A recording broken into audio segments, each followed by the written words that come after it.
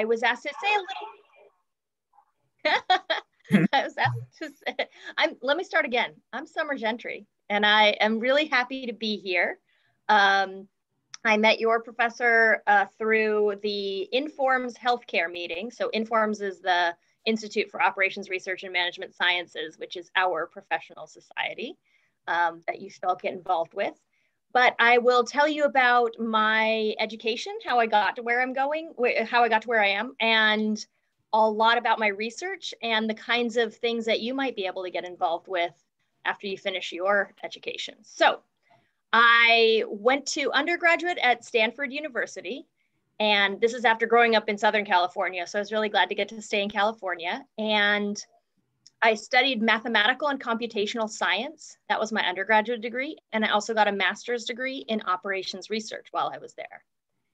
So I really enjoyed operations research. I kind of attached myself to it because I'm the kind of person who has a million different interests. So I wanted to be a novelist and a journalist, and I wanted to build rocket ships, and I wanted to do math, and I loved everything. So operations research was like this opportunity to always have the option to change into a new field because operations research was this toolkit, flexible toolkit where I knew how to solve problems. And so people from different disciplines would come to me and bring me their problems.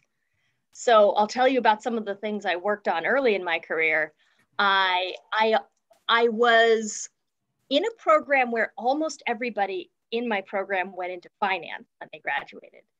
But as I learned the finance industry wasn't for me. It didn't feel very ethical. And also the working conditions were very bad.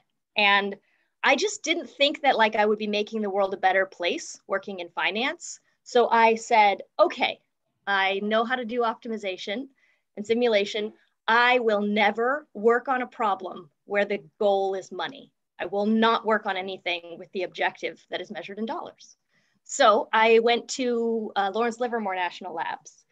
So I wanted to work on science and I ended up doing a few things. One thing that was like a graph theory, computer networking uh, security thing, but the one that I really loved was working on nuclear non-proliferation. So we had just signed the START treaty with the Russians, the Strategic Arms Reduction Treaty. The goal was to destroy uh, a bunch of nuclear weapons that the US and uh, the Soviet Union had built.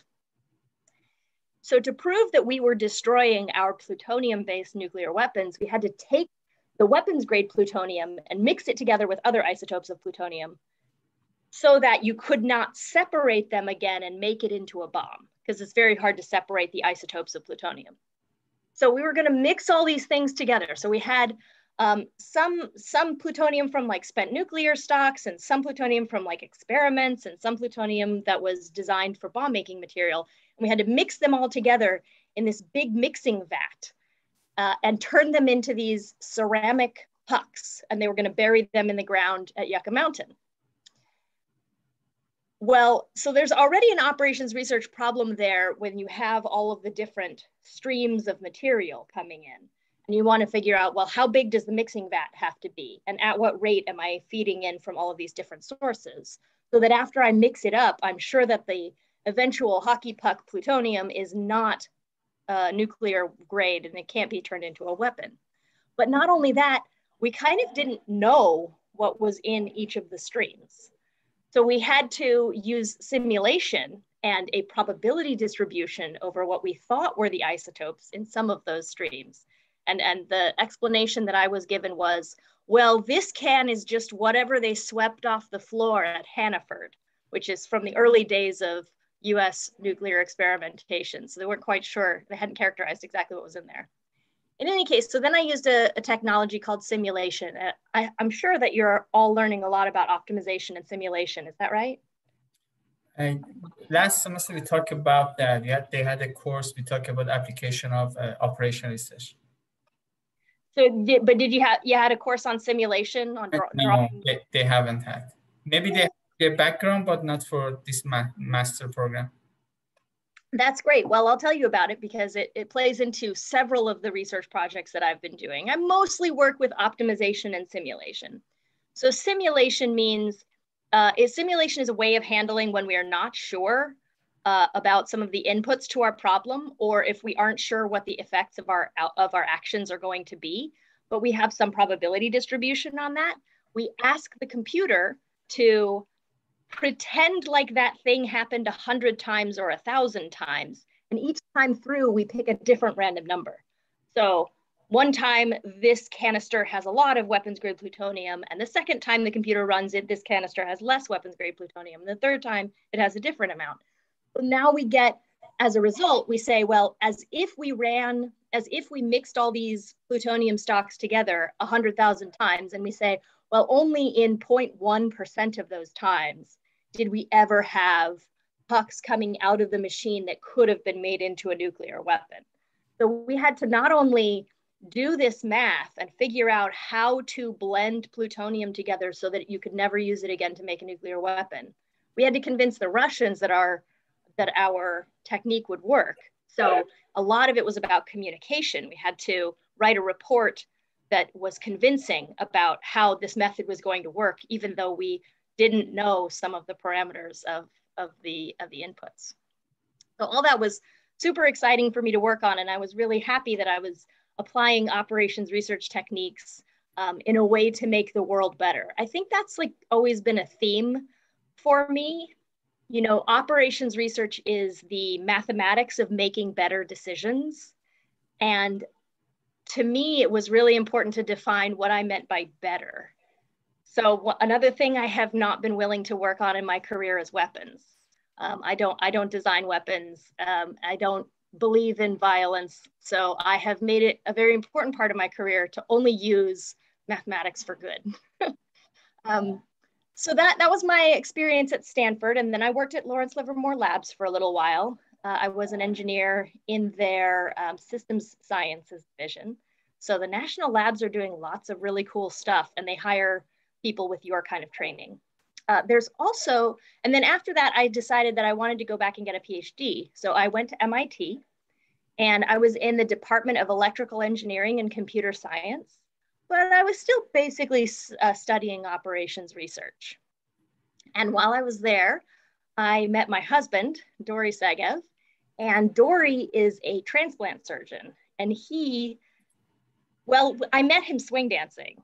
So we we have a very avid hobby of dancing.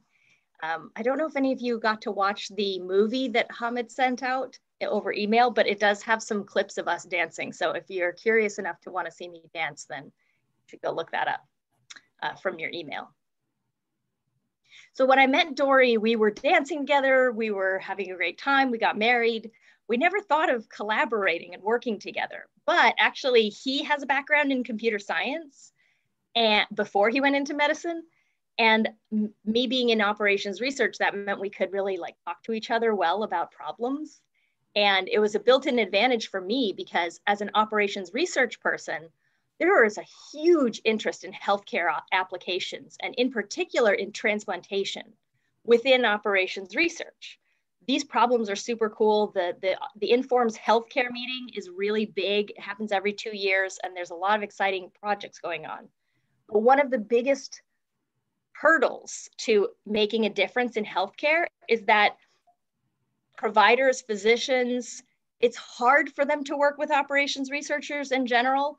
And it's just, uh, there's, there's so much going on. It's hard to get a physician's attention and it's hard to have enough collaboration with somebody who's actually taking care of patients so that your models are focused on solving the actual problems that clinicians want to solve right? It's it's um it's fairly simple to write an operations research application in healthcare that doesn't really affect healthcare. That isn't almost isn't about healthcare. That that does happen sometimes, um, where healthcare is like a toy problem. But because I work with Dorry, he always brought brought me problems and handed them to me and said, "This is something we really need to do within transplantation. Can you apply operations research techniques to solve it?" Um, so I'm going to tell you about some of those projects. But I wanted to stop and see if anybody has any questions or wants to wants to make an observation so far?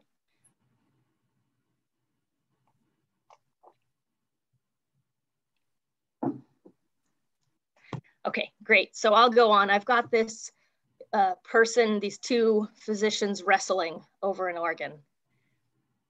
Because there aren't enough organs for everyone who needs a transplant, there has to be rationing. It's not like in other aspects of healthcare where you can say, well, we should just spend more money on this. There only are so many organs available for transplant, and there are more patients that need them. So we do have to use operations research, I think, to um, efficiently distribute the organs to the people who need them the most. So let me just say, uh, no, I'm going to go on. I'm going to go on a little bit. So Matt, this is um, people wrestling over a transplant. This is actually real. So I started getting involved in the allocation of livers for transplant. So these are livers from deceased donors. And right now, they are distributed within areas that are called regions. And the regions are historical accident. So they are geographic boundaries, kind of like the boundaries of voting districts, that were not designed for the purpose of sharing organs fairly. They're just accidents of history of which hospitals happen to be working with each other at which time. And then those lines got set in stone. And now, if a deceased donor liver becomes available, it goes to the sickest person within that region. So, how sick a person is who has liver disease is measured by MELD, which is the, the model for end stage liver disease. If you have a higher MELD score, that means you're more likely to die in the next 90 days if you don't get an organ. So, you the goal of distributing livers is to rescue as many people as you can. Some people who have a low MELD score, they can wait a while and maybe get a liver later. But if you have a very high MELD score, your liver is not functioning. And there's no kind of substitute, there's no possible substitute for it. If you have kidney disease and your kidneys fail, you can go on dialysis. And dialysis is like an artificial kidney machine but there's no artificial li liver machine. So if your liver fails and you can't get a transplant, you will die. And the, the MELD score measures how close you are to that threshold. So the goal of distributing livers ought to be to get them to the people with the highest MELD. But what happened was these region lines were drawn in a way that there were a lot more patients needing transplants and a lot fewer livers in some of the regions. And other regions had fewer candidates on the transplant list and they had more livers available. And this had been the status quo for so long that the physicians who were transplanting in those high availability regions really didn't want to give up their access to livers. So, what did I do with that problem? Um, so, here's a picture of just, this is just illustrating the problem. This is, uh, they, they did a change which was called Share 35. Share 35 was if you have a MELD score above 35, then we're going to allow the liver to go outside of your local DSA, you know, to a wider distribution area. The goal was to try to rescue people before they got too sick to survive. But actually, you can see that the liver transplant rates stayed unfair in the kind of almost the exact same patterns that they were before. So Share 35 was a program that they that they decided on, but it didn't actually make the situation better. This is before I became involved that they decided to do Share 35. And I'll say the old way of making policy within uh, UNOS, the United Network for Organ Sharing, the old way of making policy was to say, okay, we want to make a change. We want people to get their livers earlier so they don't die on the waiting list. And then someone would just suggest a policy ad hoc. Well, let's share livers for above 35. Well, you know, maybe let's do it this way. System A, system B. And those systems were just made up out of someone's head. And then they would do simulation. So this is one good thing. They would take a policy that somebody made up out of their head and test it using a simulation. So in the simulation, I talked about this before, this means they were drawing random numbers Well, they were drawing random organs that might become available next year and taking random patients and seeing if you used the new allocation rules versus the old allocation rules, does this change make my situation better? So simulation is one way of testing. Uh, it's actually evidence-based policy making so that they are saying, we could change the policy in this way. Will it have the outcomes that we want? But even with that, they hadn't been able to fix the problem of geographic disparity. So when I uh, when I got involved in this, I started to talk to them about, oh, this is actually showing that the same problem was happening in other organs, but it's a different geographic pattern. So the different organs for transplant each have a separate system for how they are allocated, and every single one of them needs to be changed to become more fair to people based on where they live. Um, I should say something else about this problem. So the problem right now is if you live in some parts of the country and you need a transplant, you have a very low chance of getting them. But if you live somewhere else, you can easily get a transplant. And it's just an accident of where you live. However, that immediately becomes, um, it immediately becomes a socioeconomic disparity and a racial disparity because people who have savvy and private insurance can get the information that, hey, you live in California and you need a liver transplant, my medical advice is you should move to Florida. And in fact, someone did ask my husband, sent him an email and said, I live in California and I need a liver transplant. And Dorry wrote back and said, You need to move to Florida and get a transplant. And this person's insurance company paid for them to move. They moved for three months, got a liver transplant, and moved back to California happy and healthy. But people who have Medicaid insurance, Medicaid is tied to your state. You can't go to another state to get a liver transplant. So now, because you might be poor or because you might, you know, be socioeconomically disadvantaged, you can't afford to move, then you now can't live because the healthcare is, is being sequestered in these, these badly drawn regions. So this was the problem that we wanted to solve using, we're going to use optimization, which is where I come into the story.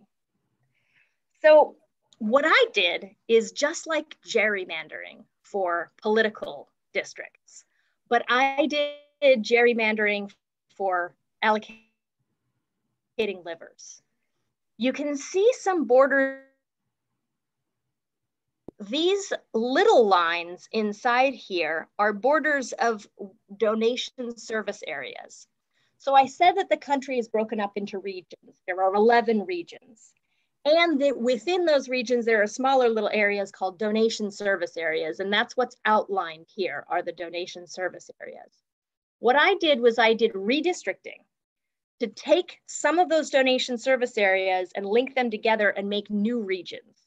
This is different from the original region map of the US. In fact, these are regions that are designed, engineered, optimized to balance the supply and the demand for livers in each of those areas.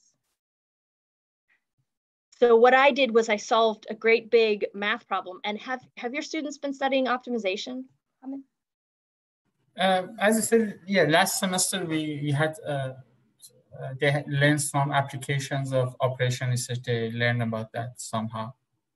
Did they do um, like optimization within an Excel spreadsheet, or did they write like any linear or integer programs? Uh, I mean, I mean, we started with Excel, then end up Lingo. So these two. Hmm. Uh... Okay, so so this is an optimization problem where the objective, the thing I'm trying to get the most of, is uh, that the livers go to where they're supposed to go, that is as if you had a national um, transplant system. Now you can't, you have still have to have regions. You can't not have regions for livers because the livers have to be transplanted within six hours of when they are recovered. And the recovery itself takes two to three hours. So you can't actually ship an organ from Florida to California, or, or very rarely would something like that happen. So the livers do have to be allocated um, fairly close to where they're recovered, but they still can travel a long way. So we have to design regions. We're still stuck with you can't send it to the sickest person anywhere in the country. But we're redesigning the boundaries of those regions, just like when they gerrymander a voting district to try to make sure that a Republican will be elected or to try to make sure a Democrat will be elected. In this case, we're trying to make sure that a liver will be available at that moment that you cross into a meld where you're so sick you're about to die without getting a transplant. And these are, yeah. It's like a problem. It's like a transportation problem? Kind of, I mean, I'm just asking. Well, so most most operations researchers immediately jump to that it might be like a matching problem where you have a list of organs and you have a list of patients and you want to decide it's like a bipartite matching so you want to draw lines and say which organ goes to which person but we can't actually solve it that, that way because the organs it's a dynamic problem the organs aren't sitting there in a pile and neither are the patients the patients get sicker or better over time and the organs become available one at a time so what you get to decide is you have one organ how are you going to order the entire list. You have to sort the list of everybody who's waiting for an organ everywhere in the country. So what we did is we tried to decide the people at the top of that list are the people within these districts I designed. So I made sure that within your district, you have encompassed enough of the sick people that the person at the top of the list is a sick person. Otherwise, with the old regions, you had a district where nobody there really, really was urgently about to die without the organ, but right over the line in the other district, there was somebody who was very sick and the organ couldn't get to them. Those people were sorted way down on the bottom of the list. Um, so, so this is what we did. We, we used mathematical optimization to design a better map. And then we used simulation to test the map in the same way they had been doing before. In fact, we used the same simulation software that the United Network for Organ Sharing was really comfortable with. But the system that we used for allocating the organs wasn't something somebody just made up. It was designed to solve the problem that they said they were trying to solve. So doing this made a big difference in the transplant community generally. A lot more physicians became knowledgeable about the existence of operations research and optimizations, and people hadn't realized this was even possible, but also forcing people to be very explicit about why are we changing the allocation system and what do we hope to achieve and when, how will we know when we achieved it so these are this is about metrics how do you measure whether you did what you wanted to do so we we measured things like the differences between what MELD score you had to be to get an organ in these different areas. In one place, you didn't have to be very sick, and in one place, you had to be very, very, very sick. We wanted those to be even so that eh, no matter where you lived in the country, if you were getting to be really sick and about to die, that you would have access to a liver. Um, and it was really interesting because that changed the conversation. I even was happy you're going to be surprised at what I'm happy about. I was happy when someone stood up at one of the meetings and went to the microphone and said, I don't agree with the objective. I don't think we should distribute livers fairly across the US. I think our objective should be to make the most profit. And as much as that that kind of will shock you, but uh, framing everything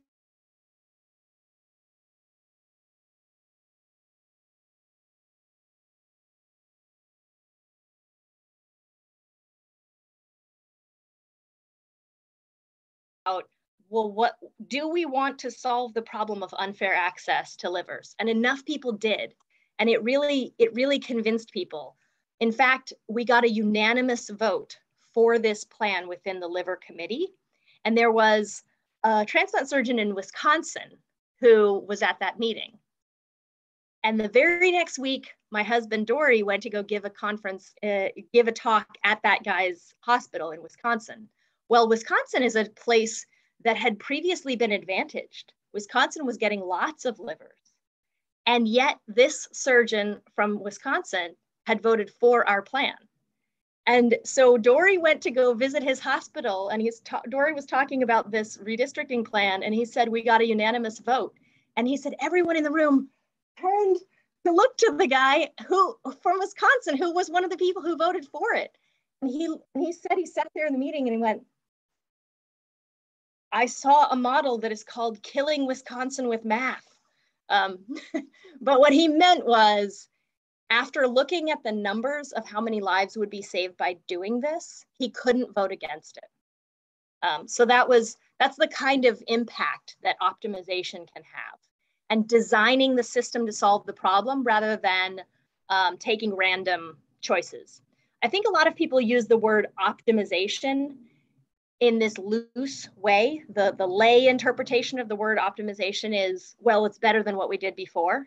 But that's not what I mean. I mean, it's better than any other system you could design of this type. So these are better than any other regions you could have that split the country into eight pieces, and we use it for liver allocation. Now, it, it, uh, the design space is also an issue. Like there were some types of there were some types of distribution that I didn't consider uh, when I designed this. Um, and it ended up that they chose something slightly different in the long run to, to implement. But the big thing is, even though this was a huge fight, let me see if I go. Um, even though this was a huge fight uh, and lots of people sued the United Network for Organ Sharing over allocation rules because of the work that we started. Basically, we had tried and tried to get redistricting implemented and the committee voted against it. And then a patient sued the United Network for Organ Sharing saying, I should have access to these livers. And they stapled our paper to the lawsuit saying, look, we know they know of a system that does a better job than this. So we were actually evidence in this person's lawsuit, which the United Network for Organ Sharing decided not to fight, but instead to implement an overnight change to their allocation system over Thanksgiving weekend. Um, so this is this is a picture right now of how optimized redistricting does reduce disparity in liver transplant. What you want is to see all the states be basically the same color. So most people have the same access to a liver transplant. This is the before on the left. We had very different levels of MELD at when you would get a transplant. And on the right, you have most people and most places in the country have equal access to a transplant. And you see California is still red it's really hard to solve California's shortage. If you live in California, you are unfortunately still not able to access a liver when you need one.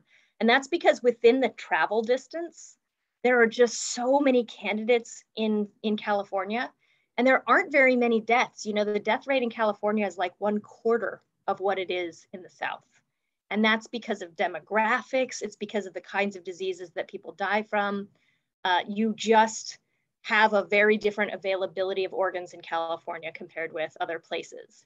And there aren't a lot of places really near California that are population centers to, to give them enough organs. So that's, you know, kind of the, the limit, upper limit of what we could do, unless we could ship livers farther. And there are scientists working on methods of preserving livers longer. So there might be a better solution to this problem in the future. Um, so I'm going to start to talk about something else, but I want to stop and give people a chance to ask questions about redistricting. Uh, I have a question, I mean, regarding a paper I just published for transplantation. Mm -hmm. So my question is that, uh, uh, what if somebody, I mean, we use uh, predictive analytics to predict several uh, chance of survival before mm. transplantation. What I mean, uh, we have the current data and we have one organ and like uh, uh, let's say 10 potential recipients. And like someone could like based on our model would we guess he, could, he or she could survive more than 10 years. Somebody may die. There's a high chance of dying less than one year.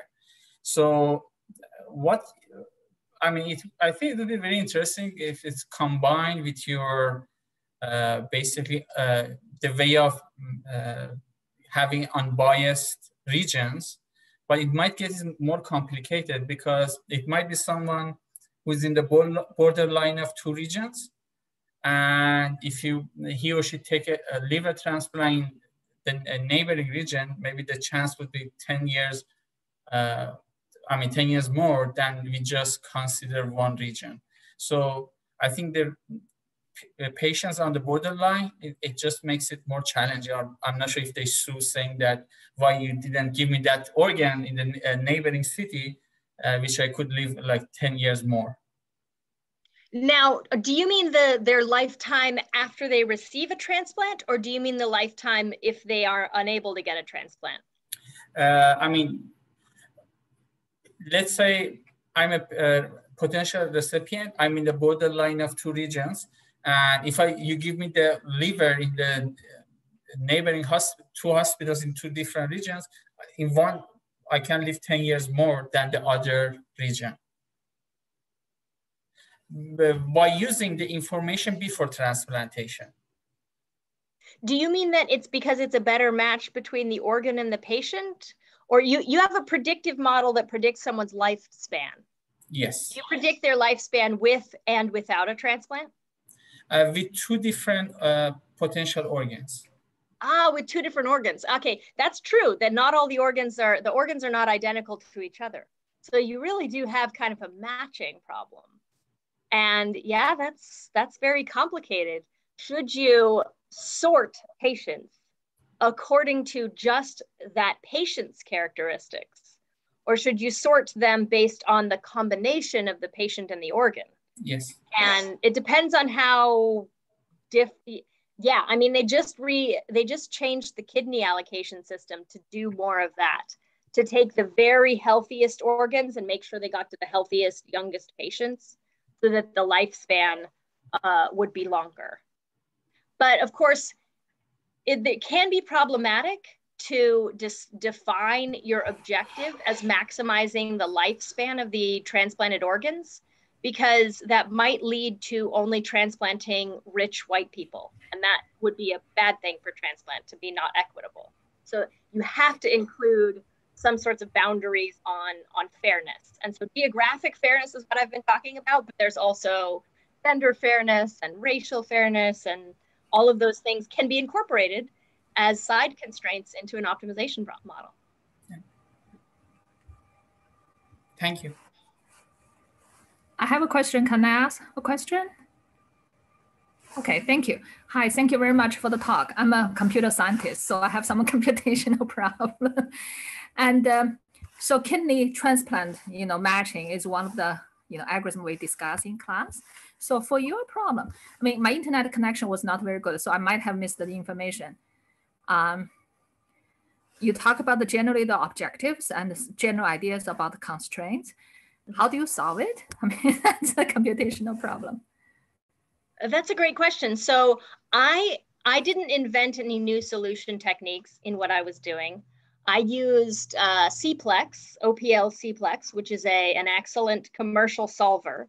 It uses technology called branch and bound for solving integer programs.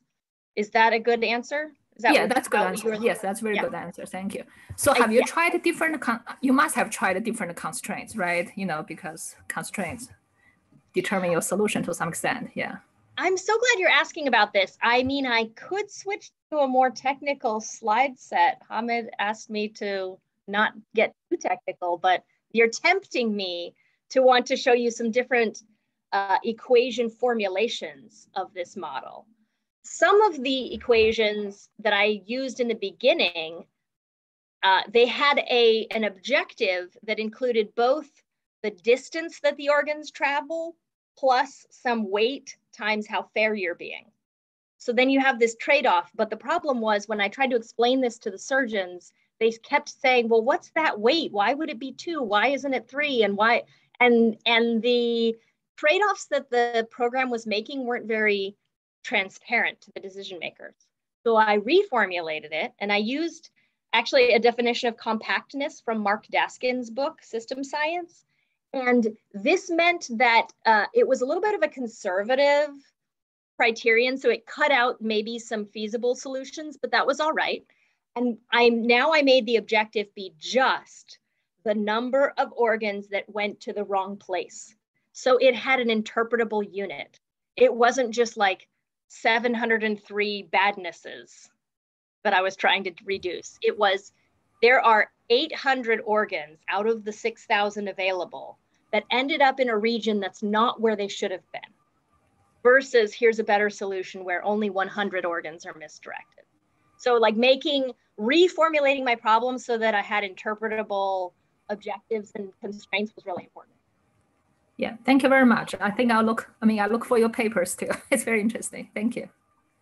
Sure, I'll, I'll make sure that um, they can go out in another email then. Thank you.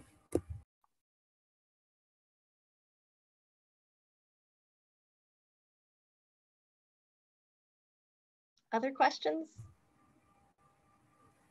I guess I can ask another question. Sure. So do you have any information about like the, I, this is overall more broader type of information, kind of the number of people that get saved by your program compared to the other old system? Mm-hmm. So liver transplant is specialty care. Only about six to 7,000 patients a year get a liver transplant and about 15 or 1600 die waiting. We talked about saving a, roughly 100 of those lives.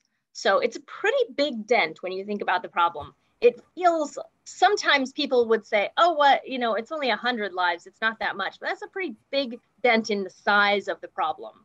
Right. Um, you know, plus the aspect of that folks should have trust in the transplant system. They should be able to look at it and say it's operating in a fair way. That is like an unquantifiable benefit. Right, right, absolutely. Thank you. Uh, thank you. I'm so sorry that I, you're totally right. I should have mentioned that earlier. No, I, no, I would like okay. To, you have so much information. Thank you. I would like to talk about another model next, if there are no other questions.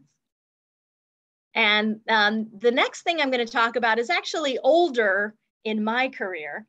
Um, and this happened when I was a graduate student, and my husband was a transplant fellow. So both of us were like trainees. And Dorry came, I went to go pick Dorry up from the hospital one day. And in the time it took us to drive home, which was about eight minutes, he explained this kidney exchange problem to me. And then we worked on it for the next 10 years, and it really jump started both of our careers in this direction. So, this is a paper. This was the first paper that I ever published in the Journal of the American Medical Association. So, for a graduate student and a transplant fellow to publish a paper in this journal was a pretty big splash to make. Uh, so, the kidney exchange problem was if you have a donor who wants to give a kidney to you, but they're the wrong blood type. And then you found another family that had a donor that was the wrong blood type, you might be able to exchange those organs. So you circumvent the incompatibility so that um, both people actually get a compatible transplant from a stranger, but it's really that their loved one donated so that they could receive a transplant. And our paper was the first paper to appear in the medical literature about using mathematics to decide who should exchange. Because um, so at Hopkins, they were doing a whole lot of desensitization transplants. Desensitization was like medically cutting edge, where you would take somebody whose kidney was the wrong blood type and force the recipient to accept it using desensitization, removing antibodies from their blood, and it was high tech and they were on different kinds of drugs. And because Hopkins had a program that did that, they also had a huge list of patients who had incompatible living donors. And they were trying to set up an exchange where they could exchange these incompatible donors. They were literally doing it in the in the office, in the coordinator's office with a magnet board and like moving people with different blood types around trying to figure out who was exchangeable with whom. And Dorry said that he said to his boss, Robert Montgomery, who's on this paper too, hey, we should have, instead of just doing this at Hopkins, we should get every patient in the whole entire country who has a living donor to exchange with someone else. And uh, his boss said, you could never do that. There's no way you could figure out who should exchange with whom. Like there's just way too many people, right? They won't fit on my magnet board. And so he immediately brought that problem to me and said, we need to do a nationwide exchange. And this paper is the result of that. But unfortunately, we didn't have any data. this paper was published with no data at all. And that's because we used simulation. We had fake patients in this study that we published. We generated random patients and their whole family members, including inheriting blood types and inheriting human leukocyte antigen types to decide who was uh, compatible with whom in their family. Is this mother going to be able to donate to this child? Is this cousin going to be able to donate to this father, etc. So we had we had virtual patients, but they had very similar blood types and HLA types to the real population of people who were out there without a donor. And we didn't know who they were because at this point, kidney exchange was illegal. The Department of Justice had said that because you aren't allowed to exchange an organ for valuable consideration, that you can't trade your blood type B kidney to get a blood type A kidney. That's like, here, I'll give you my kidney if you give me mine. That was a trade, that was an exchange. So technically, they were doing a few um, exchange transplants here and there, but technically the Department of Justice said they were illegal. So the United Network for Organ Sharing couldn't set up a nationwide exchange and nobody was keeping track of those patients at all. If you came forward and you said, hey, my, my spouse wants to donate to me, the doctor would just say, well, they're the wrong blood type. And then they went home and nobody wrote that data down. So we had to use simulation to invent a bunch of virtual patients to replace the fact that we didn't have any actual data. But we predicted that thousands of additional kidney transplants would happen. And this was this contradicted an earlier paper that said that uh, kidney exchange would only ever be relevant to like 2% or 3% of the population. That wasn't true at all. Half of the pairs that had an incompatible donor could find a compatible donor. Um, and so we, we published this paper and I'll tell you a little bit more about the mathematics of what we did. So we represented all of the patients and their incompatible donors as a graph. This is a graph, it's not the kind of graph that you might be familiar with like X versus Y graph, but this actually has, we call each of these circles um, vertices. So one is a vertex and zero is a vertex and 11 is a vertex. And each vertex is actually a patient and a living donor that wants to donate to them but can't. But the donor in vertex one can donate to the recipient in vertex four. And the donor in vertex four can donate to the recipient in vertex zero. And the donor in vertex zero can donate to the recipient in vertex one. You can see if you make a triangle between zero, one, and four, that three patients who couldn't get a transplant before can all get transplant. So that's a cycle in the graph from zero, one, four. And we looked for maximum cycle decompositions. So we tried to find what's the largest number of cycles you can get, that is the largest number of people who can get transplanted in this graph. Um, you can see there are some two-way cycles like the donor in 11 can give to seven and the donor in seven can give to the recipient in 11. So that's just two-way exchange. Um, a good example of like a paper that was cool in operations research but had not made an impact clinically, it did not make an impact in medicine, was an earlier paper on exchange in which they they tried to do um, cycles of any length. So um, they the this this paper had come out before ours, and it was and it said you can do top trading cycles, which meant that in practice that you would get a cycle where maybe 15 or 30 people would exchange in a big, big loop. And so you give to one person, they give to the next person, they give to the next person, and it takes 30, 30 links before you get back to the starting person. And that wasn't considered feasible in, in medicine because every one of those patients might get sick one day or the donor becomes pregnant and then 30 people don't get a transplant. So it was too brittle um, to use that kind of a system you had to actually solve the problem with a maximum cycle length. It may be like no more than two people can exchange, or maybe no more than three, but you couldn't do really big cycles. Um, and this is this is where the state of the art was when I got involved in this problem. And so we wrote a paper about just using two-way cycles, but using optimization to say, even if you had a thousand families and they're incompatible donors, you can quickly, with a computer, figure out who exchanges with whom so the most people can get a transplant. Uh, and that, that really changed things. So, oh, I guess I do have a formulation slide in here. This was a, a I think this is a cycle formulation. Yeah, this is a cycle formulation. Again, there are multiple different ways to write down the mathematics of finding the optimal exchange on here. And there's a lot of cool operations research work still being done about different ways to write down those equations so that it might be easier to compute the solution for really big problems, or so that you might be able to incorporate side constraints better.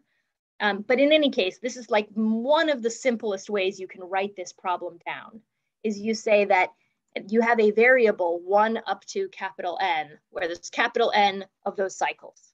One variable for each cycle, and then you make the variable one if you pick the cycle and you make the variable zero if you don't pick the cycle, and then the computer tells you which cycles you should pick. Okay, so let me go on here.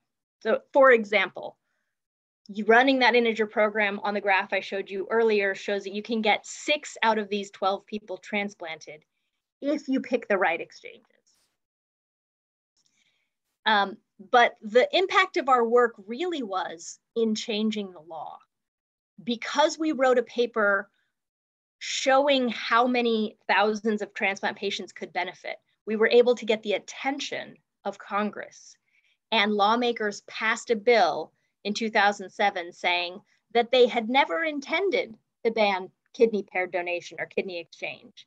And so henceforth, kidney exchange was explicitly legal. This only happened because we made up data and we used our, we used the computer, we used simulation to show exactly what a big impact this would make. There wouldn't have been any other way to show that uh, before the thing was legal. So that is something that I'm proud of is being able to provide the kind of evidence through the research that I do that can change policy, that can change the world for the better. So we changed the way that United Network for Organ Sharing makes its allocation policies. And we changed a law to make kidney exchanges legal uh, through the work that we did. So uh, that's the kind of difference you can make with math. And that was the last thing that I have on my slide set. I would love to answer questions.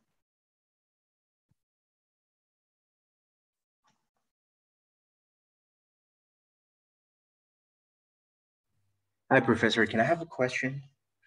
Uh, so actually, I have a question. I probably missed something about the first picture of the vertices. So I saw some vertices like five, six, three. They are not in that cycle. Does that mean like they're neither donor or recipient?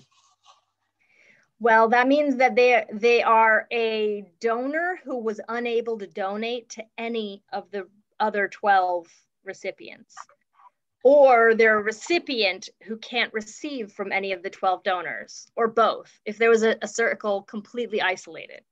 So what you saw, those were from realistic distributions. If you include just um, incompatible pairs, there are a lot of pairs that won't find a match. There are ways around that problem. If you incorporate compatible pairs, that is, I'm a person who could donate directly to my sister but instead of donating directly to my sister, I decide to join an exchange and I donate to somebody else and somebody else donates to my sister. If we had enough compatible pairs who also joined the exchange, then we could get a lot more people transplanted. And so those are the kind of variations that grew later when people were comfortable with kidney exchange. We realized we could get a higher percentage of people matched. Oh, I see. So uh, those people are excluded from that cycle will later on have have some donors, right? Have some red match, right? Hopefully, the anyone who is in a circle there, it means they have someone who is willing to donate their kidney, and it means that ah. they're ready to receive. But we just have to find the right um, exchange opportunity for them. Oh, I see. Thank you very much.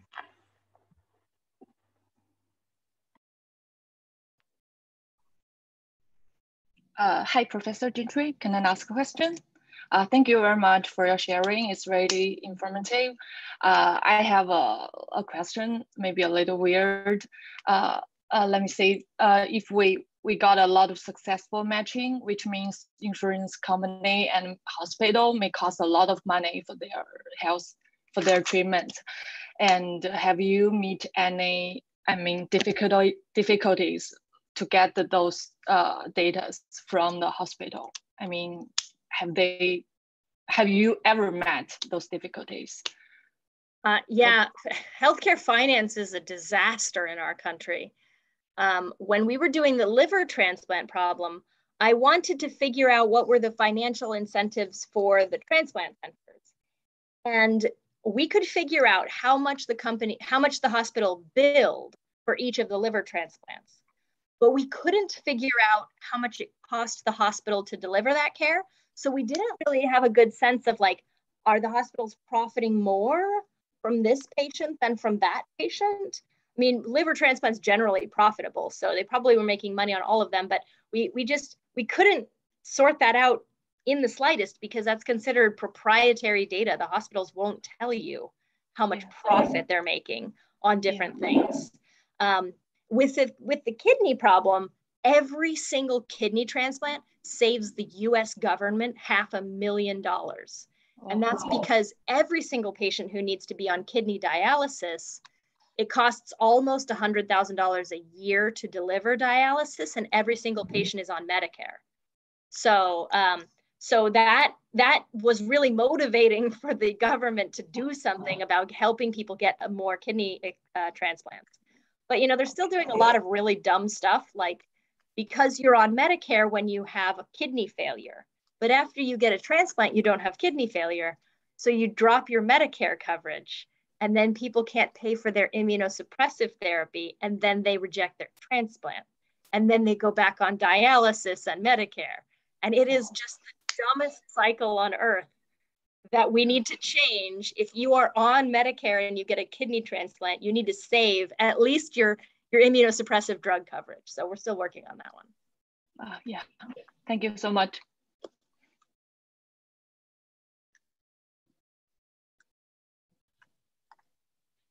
Uh, hello, Professor. May I ask a question? Yeah. Uh, so the circle, I mean, the graph that you showed, you, you, you told that like you didn't have any data, rather you work on it, uh, taking some uh, data Uh, or some imagination. So how do you actually bring the patients under a common platform? I mean, the donor and the recipients. Is there any system to bring them together nationwide or it's it varies from state to state? there are a few different nationwide exchanges. The one that has done the most kidney exchanges is called the National Kidney Registry, and it's run by my friend Garet Hil in New York. He has done a lot of innovative things with it, like allowing patients to donate their kidney now to give their, their loved one a voucher that they can exchange later. So you may know, like a grandparent has a grandchild and the grandchild has a disease that means maybe in 10 years that grandchild needs a transplant. The grandparent donates a kidney now to someone and the grandchild gets a voucher they can turn in years later possibly.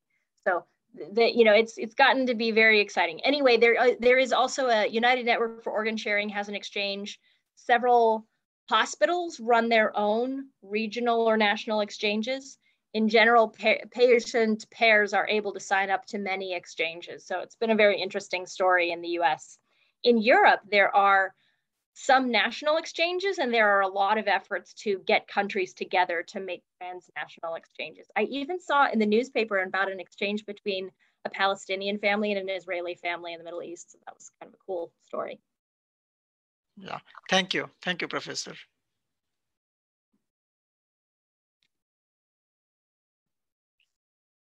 Hi, Professor. That was a super, super fascinating uh, talk. Um, I'm an MSGIS candidate um, and an undergraduate in the econ uh, department. And so um, a bit of a, a, tangent, I suppose, but I'm working on an optimization model for transit um, in, in uh, the WRTA. And so I was wondering if um, you'd be interested in, in um, perhaps having a conversation at a later point in time to get your thoughts on that. obviously to whatever your availability is. Um, but yeah, I'm working because I was um I work at the local model. I was quote told was it's your grandmother's recipe for bus stops. I was like that no, there's a better way to do this, and so I'd love to get your thoughts on that. Oh heaven! I mean, transportation problems, transit is such a great thing to be working on. I am thrilled to hear that you're working in transit, uh, and I don't know a ton about the models, honestly. They can be quite different from the types of optimization models that I've done. Of course, I'm, I'm always happy to talk to you about it. And like I said, just congratulations on picking something that is going to make the world a better place. If if transit works for people, that's life changing. Yeah. Thank you, thank you. Um, yeah, I'll, I was maybe a few minutes late. I'll get your information from um, the program. Thank you so much. Yes, sure. Feel free to contact me. You can all find me very easily. Just Google my name and you'll see my email address and go ahead and I would love to hear from you. Thank you. Thank you.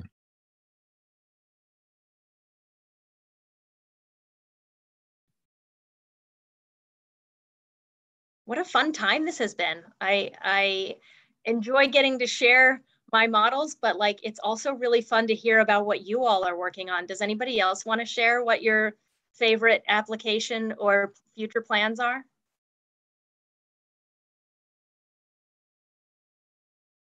Uh, I mean, in transplantation area, I'm uh, me and my students have, uh, have. I mean, I've worked in two different projects. One of them about, uh, I mean, as I said, a score for uh, transplantation. The second one is biased in transplantation. So we want to see if there is biasness based on gender, region, and also what happens if you use machine learning and uh, like end up having a score, a more uh, complicated score. And what happens if you use that score for transplantation? Does it improve bias or unbiased? And in terms of COVID, we're also doing a simulation project uh, about uh, how we can, I mean, uh, helps in terms of spread of uh, contagious virus such as COVID-19 in the like a supermarket or some place that people gather together. I've seen some of the students working at that bias uh, in transplantation here. Uh, there are like three or four students. They're, all of them are in this talk. Cool. Thanks for sharing that. Thank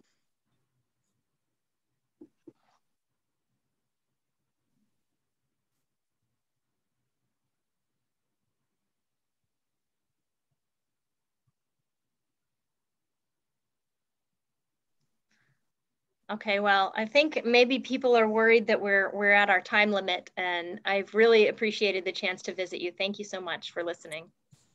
Thank you Thank very you, much. Very, a very inspiring talk. Uh, it inspired me a lot, gave me some ideas. And so, uh, the students are watching your video. They, I give them a homework out of your video. So some of them are, I mean, different countries. So they watch your video later and I promise not a difficult homework, but there is a homework from your talk. So, and I they gave me some like comments, private comments. All of them are very uh, thankful of you. Very good talk, and you honored us. It's really good. Thank you very much. Thank you so much for having me. Thank you. Thank you. Thank you. Thank you. Welcome. Bye.